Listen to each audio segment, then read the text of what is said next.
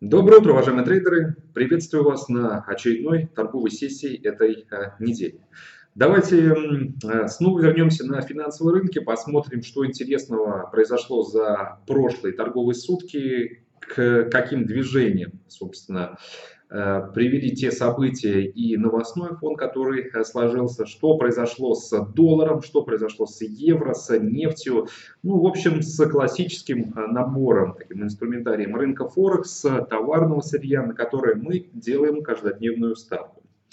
Э, позитивный момент, который стоит отметить, безусловно, то, что на рынке, который вроде бы как и не блещет э, статистическими отчетами, э, хватает таких локальных зарядов, которые провоцируют серьезные движения и волатильность. А если посмотрим на классически не очень подвижную валютную пару доллар-японская иена, то а, вчера движение было существенное. Это потери американцев, даже вопреки а, тому фундаменту, который а, сложился, тем предпосылкам и основаниям для роста, потери, которые превысили одну фигуру. Сегодня я предлагаю несколько детальнее разобрать новостную картину по доллару, ну, потому что именно она является сейчас основной для всего рынка, и именно она определяет и генерирует определенный настрой. В частности, если э, сейчас пока что очень сильно не отходить от американца, на рынке сложилось два а, фона, два а, события, которые могут э, быть эм, собственно, вот этим основным катализатором тех движений, которые мы видели. С одной стороны, э, позиция ну, решения, либо фактические действия, так уже скажем, со стороны Банка Японии о э, сокращении э, количества покупаемых государственных облигаций. Это тоже вопреки сложившемуся механизму, к которому мы привыкли. Ну и еще одна идея, она связана уже с экономикой Поднебесной, якобы в том, что они всерьез допускают возможность резкого сокращения либо отказа от покупки государственных э, облигаций, казначейских э, бумаг. Причем, друзья, если мы будем разбирать э, этот новостной фон, эм, наверное, какой бы источник мы ни посмотрели, все тут же скажут, что основная причина вчерашних распродаж доллара как раз новостной фон, касающийся облигаций. У меня немножко другая позиция, и я попробую вам чуть-чуть, эм, скажем, объясните, э, с чем э, связано мое решение того, что не этот новостной фон стал э, основной причиной тех распродаж доллара, которые мы видели. В целом, если коснуться общей динамики на рынке Форекс, мы видели очень сильные движения вчера по паре доллар-японская иена и доллар-канадец. Но если сравнивать прочие рисковые инструменты по позициям от текущей котировки с теми котировками, с которыми мы работали на вчерашней, в принципе, азиатской торговой сессии, то отличия не такие уж и существенные. Ну, в частности, вот мы говорили день назад про котировки евро-доллара на отметке 1.1945. Сейчас на несколько пунктов пара держится выше. Был локальный экстремум в районе 1.20 э, с небольшим, но очень быстро, как я и говорил, этот порог боли заставил э, трейдеров, а может быть заставил Европейского центральный банк через какие-то действия убедить все-таки участников рынка в том, что евро нужно немного притопить. Фунт 1.35-34 у нас было день назад, сейчас котировки 1.35. Австралиец Э, диапазон, эм, скажем, отличия по ценам в несколько э, пунктов, так же как и по новозеландцу, но это все э, укладывается в нормальную динамику валютных инструментов в рамках торговой сессии. Вы эм, сейчас поймете, к чему я клоню, к тому, что доллар очень сильно потерял, по сути, только против японской э, валюты. И с чем это э, связано, собственно, я в двух словах вам вчера говорил, но сегодня поговорим подробнее. Но сначала я предлагаю, как и всегда, разобрать ситуацию на рынке нефти, разобрать ее в таком в экспресс-ключе, потому что особо ничего нового не произошло. Рынок по-прежнему не хочет продавать нефть. Ну, никак, ни в какую. И э, появляются новые отчеты, которые убеждают трейдеров а, в том, что не нужно отказываться от этой а, позиции. Длинные участники даже не фиксируют те лонги, которые открывались ранее, несмотря на то, что мы точимся уже на а, очень высоких ценовых значениях. Мы находимся в позиции даже не какого-то длительного совокупного накопления, мы находимся в самой настоящей бойлерной сейчас по этому инструменту. Перекупленность очевидна. Я думаю, что какие контракты бы вы не анализировали эм, любой из бирж, вы поймете то, что так же, как и в рамках американского фондового рынка, сейчас все ставят на рост нефтянки, потому что считают, что тот новостной фонд, который сложился, он создает крайне хорошие условия для того, чтобы этот актив рос, рос и рос и обновлял все новые и новые э, максимумы. 69.10 это закрытие вчерашней торговой сессии, 69.08, если мы увидим в ближайшее время котировки бренда в районе 69.50 чуть Э, повыше этого значения, то э, можно будет говорить уже о максимумах аж с 2014 года. Трейдеры продолжают отыгрывать э, статистику по запасам, новостной фон, связанный с Ираном, статистику по количеству нефтяных э, терминалов. До этого, до вчерашнего отчета от администрации аналитической информации у нас э, был тренд своего рода, сложившийся из 7 недель снижения запасов подряд. Э, за день до Собственно, вчерашней статистики Американский институт нефти сообщил о том, что запасы снизились на 11 миллионов, и трейдеры начали э, закладываться под то, что и официальное ведомство тоже сообщит о схожих э, показателях. И, в принципе, ожидания были оправданы, потому что запасы снизились. Ну, путь э, не так круто, как по оценке Американского нефти, но минус 4,9 миллиона это тоже. Поэтому запасы снижаются восьмую неделю подряд. Я думаю, что, друзья, если вы интересуетесь нефтянкой, вы наверняка помните мою позицию относительно того, что почему запасы сейчас э, снижаются. Это не какой-то нонс, не какой-то парадокс, и уж тем более не значимый повод, из-за которого нефтянку стоит откупать.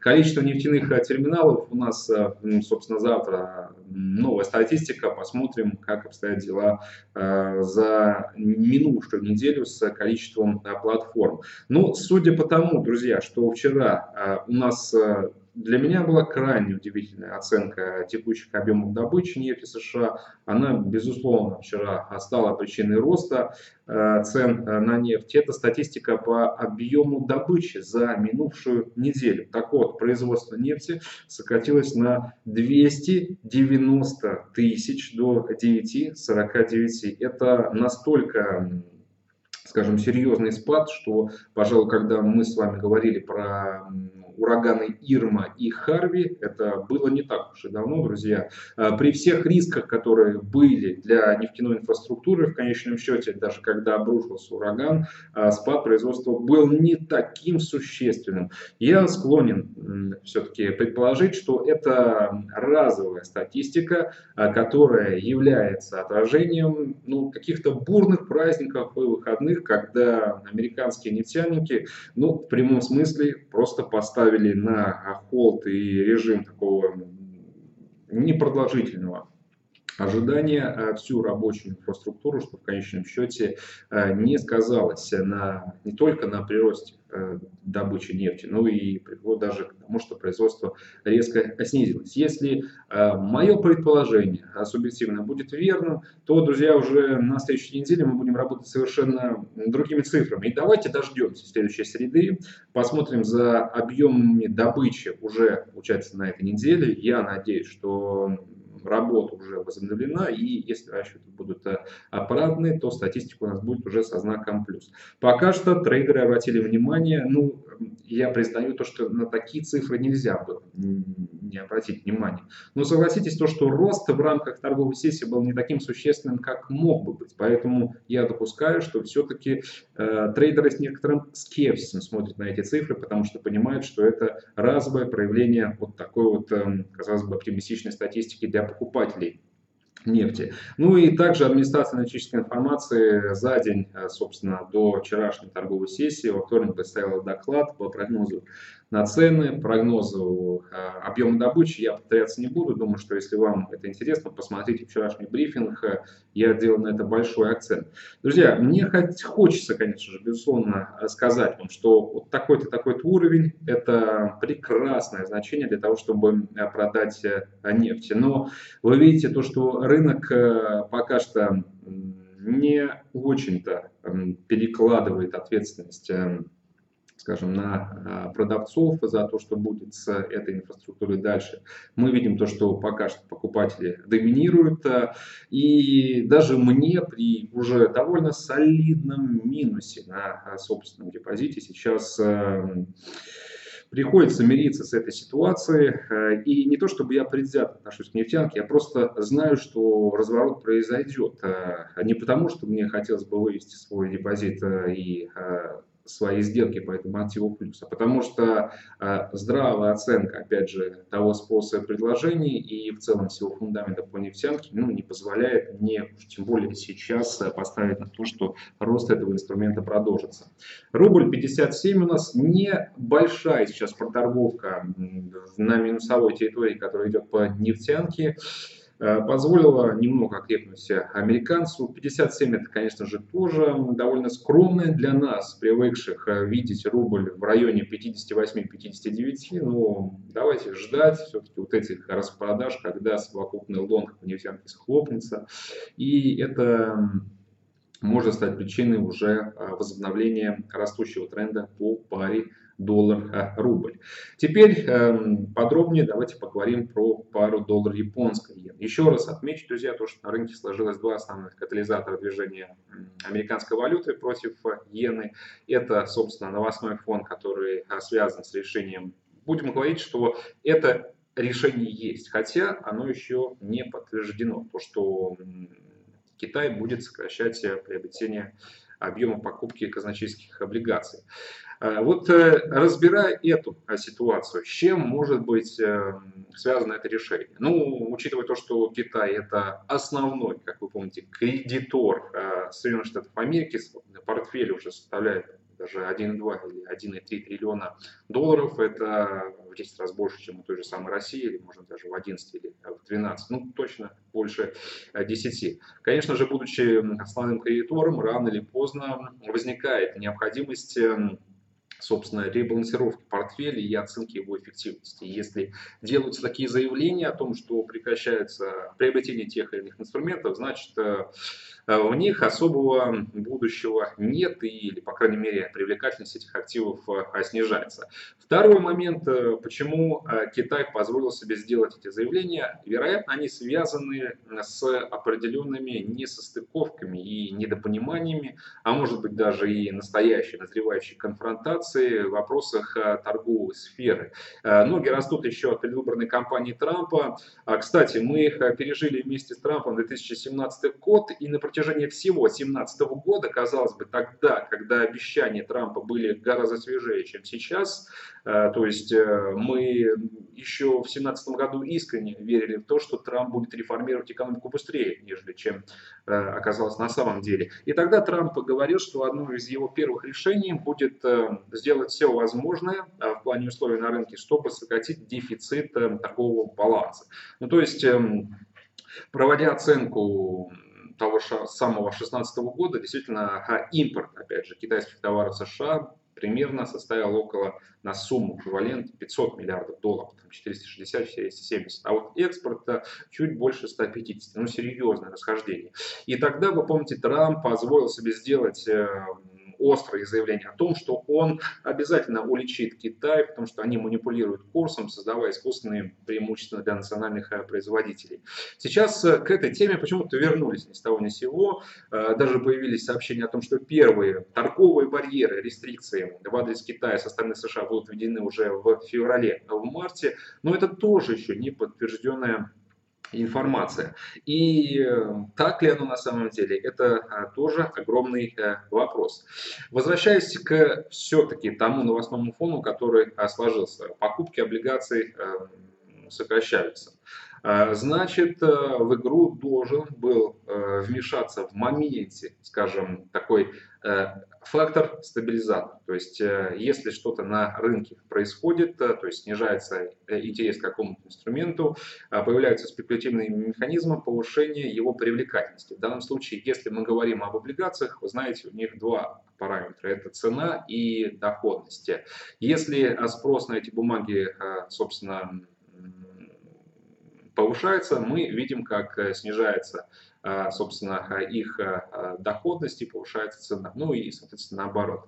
Оценивая то, что происходило с американскими облигациями, нашими привычными десятилетками, на которые мы обычно обращаем внимание, по доходности, то мы видели показатели 2,59. И, кстати, очень многие именитые аналитики уже отметили, что как только трежерис преодолели сопротивление 2,5 по доходности, началась новая эра, новая фаза восстановления, роста и трендовая динамика, которая будет э, точить доходность американских облигаций все выше и выше. То есть вчера, когда мы работали с новостным фоном, который все называли причиной вот именно действий Китая в адрес американских облигаций, причиной обвала доллара мы видели параллельное а, укрепление и рост показателей доходности этих облигаций. Но, друзья, вы ведь все знаете, что если доход, растут доходности трежерис, параллельно идет и укрепление курса национальной валюты. Вчера этого не а, наблюдалось, хотя доллар вчера особенно против, а, если не брать в расчет канадца, и японскую валюту особо интересных движений и не показал. Поэтому я позволяю себе сделать вывод о том, что все-таки на те настроения, которые привели к обвалу доллара и иены вчера, большее влияние оказали эм, цифры, которые были представлены Банком Японии а, по программе количественного смягчения. И это заставило трейдеров а, решить, что, возможно, Банк Японии будет эм, постепенно отказываться от той мягкой экономической политики, к которой мы с вами а, привыкли. Как э, дело будет обстоять дальше по паре доллар-японская? Ну, поскольку я верю в то, что все-таки Банк Японии наверстает объем покупки облигаций, я верю, соответственно, и в то, что вряд ли ли снижение доллара японской иены может быть продолжено дальше. Это мое субъективное видение, потому что ну, я так оцениваю а, фундамент. И, а, соответственно, друзья, те, кто находится в длинных позициях, как и я, я могу лишь а, пожелать вам терпения и все-таки быть также привержены тому фундаменту, который вы, оценке того фундамента, который вы проводите, потому что, ну, было бы очень интересно, конечно же, сейчас пообщаться с человеком, который назвал бы хотя бы несколько причин, из-за которых доллар должен э, слабеть. И было бы интересно не просто услышать перебор этих причин, если вообще э, это возможно, а то, э, как э, будет аргументироваться позиция, что эти самые причины должны пересилить по факту серьезнейшей фундаментальной поддержки налоговую реформу тренд уже а, продолжающееся и развивающееся повышение процентной ставки и сильных макроэкономических данных. Это давайте оставим все-таки плоскости другого измерения. Нам не нужны эти контраргументы, потому что, я думаю, они в принципе априори будут э, несостоятельны. Фонд против доллара Динамика держится в прежнем ключе, 1.35 у нас котировки сейчас, мы ждем а, пару в районе 1.37. Помимо тех факторов, которые я уже отмечал, как э, те, которые могут привести к росту э, британца, э, поддерживает нас и статистика, данные по промышленному производству. Вчера в месячном выражении 0,4% против прошлого роста на 0,2%. Ждем все-таки возобновления переговоров по Брекзиту и помним, что Брекзит и то, как ведутся переговоры между э, Терезой э, Мэй и в целом Европейским Союзом, это куда более крутой катализатор для э, британцев. Ждем роста, как я уже отметил, минимум в районе 1,37. Доллар-канадец, еще одна валютная пара, которая вчера поразила своей волатильностью. Не, не то чтобы поразила, мы периодически видим такие движения, но э, среди прочих смотрелось довольно интересно. Э, доллар канадец неплохо подрос, сейчас котировки 1.25 55 фактически с вчерашних уровней, плюс 100 пунктов мы с вами сделали. Рассчитывали мы на рост, ждем пару гораздо выше текущих значений, потому что ждем, когда все-таки доллар станет на ноги, когда начнет корректироваться нефтянка. Почему вчера доллар все-таки против канадцев вырос? Здесь, так же как и в паре с долларом японской иена, основной двигатель динамики заключался не в американце. Это еще одно доказательство, друзья, того, что на рынке э, вчера все-таки основным был э, фон, э, не тот, который сейчас все обсуждают, касательно действий Китая в адрес облигаций. По Канаде э, также новости. Это в СМИ буквально вчера снова появились разговоры о том, что Трамп чуть ли не в ближайшей неделе может сделать заявление о приостановке действия Североамериканского торгового альянса под названием НАФТА, куда входит Мексика, Канада и Соединенные Штаты Америки. Если вы сомневаетесь в том, что этот фонд стал причиной той динамики, которую мы видели, посмотрите, что произошло в паре доллар-мексиканская песо, и вы поймете, что это действительно он. Все в соответствии с нашим раскладом. Мы допускали риск возвращения к теме нафта, и вот он во всей красе себя проявил. Также, друзья, хочу отметить еще про американский фондовый рынок пару слов, который растет. Все три бенчмарки, это S&P, Dow и NASDAQ, обновляют рекордный максимум. Вроде бы как разразилась вчера коррекция, но все равно американскую фонду сейчас снова выкупают. Я хочу обратить ваше внимание, друзья, на очень серьезный, на мой взгляд, аргумент, который, эм, опять же, позволяет нам а, сделать большую ставку на общее позиционирование, общее настроение рынка, которое исключительно оптимистичное. Все верят в то, что рынок будет расти, несмотря ни на что, и это, возможно, залог назревающей коррекции. Последний раз похожая ситуация была в 2010 году, когда прогнозы роста аналитиков пересматривали в сторону повышения, существенное расхождение между прогнозами в лонг, прогнозами в sell, тоже не просто существенное, а какое-то астрономическое, то есть такого оптимизма на рынке быть не может, но он был и тогда. Мы по S&P наблюдали наблюдали тоже похожую ситуацию. За три месяца актив сделал больше 10%, потом разразилась коррекция на 15-20%. Такая же ситуация, друзья. Прямо сейчас происходит то же самое. Не факт, что мы увидим снижение на 15-20%, может быть снижение будет э, даже больше, но я думаю, что коррекция, она действительно уже не за горами, и рыночное настроение позволяет нам об этом говорить. Напоминаю, друзья, то, что уже э, фактически через несколько часов стартует новый сезон квартальных отчетов, начинает отчитываться банковский сектор, и я думаю, что именно текущий сезон квартальных отчетов и ошибка э, многих э, трейдеров, которые заранее закладываются под чрезмерный оптимизм под этот сезон, она в конечном счете будет дорого стоить, потому что этот сезон может очень сильно испортить настроение и в конечном счете ну, толкнуть вот эту коррекционную динамику, на которую мы настраиваемся. Я жду снижение, друзья, уже занял короткую позицию. Можете поискать уровни лично, те, которые подходят вам, не знаю, на что способны ваши депозиты в случае, если движение пойдет в другую сторону. Но к этим уровням и к такой динамике нужно готовиться, ну, вот-вот, друзья. Я думаю, что она действительно произойдет в ближайшее время. Из важных отчетов сегодня индекс цен производителей по штатам, статистика, которая готовит нас к завтрашнему релизу по инфляции.